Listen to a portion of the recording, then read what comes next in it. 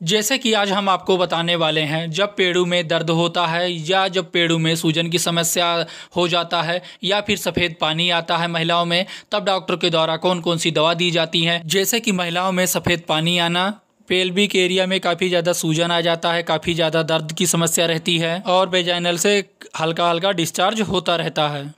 सफ़ेद रंग का तो वहाँ पर डॉक्टर के द्वारा जो मेडिसिन दिया जाता है, डॉक्टर के द्वारा वो कौन कौन सी मेडिसिन उपयोग की जाती हैं, इसके बारे में आज हम पूरा डिटेल से आपको हिंदी में जानकारी देंगे। इसके मेनली सिम्टम्स क्या दिखाई देते हैं और मेनली इसके काज क्या होते हैं, चलिए जान लेते हैं। यहाँ पर हम सबसे पहले बात करते हैं कॉज फेल्विक इन्फ्लामेटरी डिज़ीज़, जिसमें पेड़ों में सूजन आ जाता है, पेड़ों में दर्द रहता है तो उस कंडीशन को काज करने वाले कारण क्या हो सकते हैं? इसमें कोनोरिया या क्लेमाइडिया, ये बीमारी है।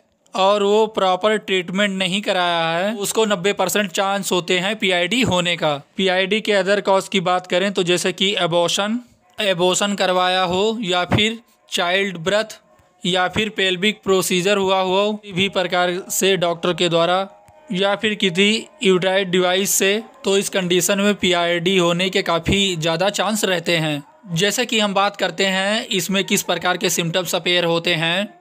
जो इसमें सिम्टम्स देखे गए हैं, वो सबसे पहला है pain in stomach stomach region पर पेन होगा, क्योंकि हमारे lower abdominal abnormal vaginal discharge की समस्या होगी, यानी बेजाइना से हल्का हल्का सफ़ेद पानी निकलेगा।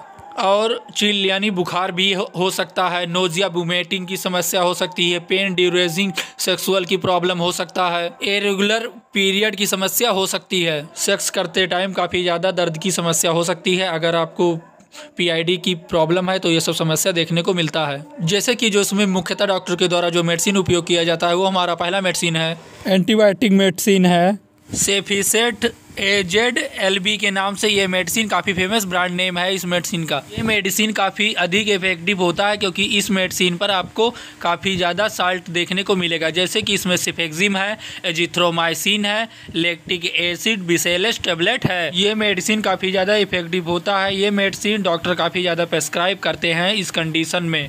वहीं हम अदर मेडिसिन की बात करें तो अगला मेडिसिन है हमारा मेट्रोनीडा जो इस मेडिसिन का भी काफ़ी ज़्यादा उपयोग किया जाता है क्योंकि हमारे इंटरनल जैसे कि हमारे इंटरनल ऑर्गन में किसी प्रकार का इन्फेक्शन है जैसे कि यूटीआई की समस्या में मेट्रोनिडाजोल का काफ़ी ज़्यादा उपयोग किया जाता है तो इस प्रकार की समस्या में इस मेडिसिन का उपयोग किया जाता है। साथ साथ में अगला मेडिसिन है हमारा Zerodol P tablet Zerodol P tablet को काफ़ी ज़्यादा डॉक्टर इस समस्या में भी प्रेस्क्राइब करते हैं। जैसे कि इसमें एसाइक्लोफेनिक हंड्रेड एम होता है और पैरासीटामॉल तीस सौ पच्चीस एम होता है। पी की समस्या में क्या होता है? सूजन और दर्द रहता है तो सूजन और दर्द को कम करने के लिए डॉक्टर के द्वारा ये मेडिसिन दिया जाता है। इस मेडिसिन को खाना खाने के बाद में एक गोली, सुबह एक गोली, शाम को लिया जाता है। इस समस्या में कुछ अलग एंटीफंगल मेडिसिन उपयोग किया जाता है, जैसे कि जोकोन, डेढ़ सौ। जोकोन इस मेडिसिन का काफ़ी फ़ेमस ब्रांड नेम है और इसमें फ्लूकुनाजोल होता है। ये डेढ़ सौ का टेबलेट होता है, ये हफ़्ते में आपको दो बार खाना होता है। जैसे कि एक टेबलेट आज अगर आप खा सकते हैं तो इसके तीसरे दिन भी आप एक टेबलेट ले सकते हैं। ये मेडिसिन आपको हफ़्ते में दो बार खाना होता है डॉक्टर के प्रिस्क्रिप्शन के अनुसार।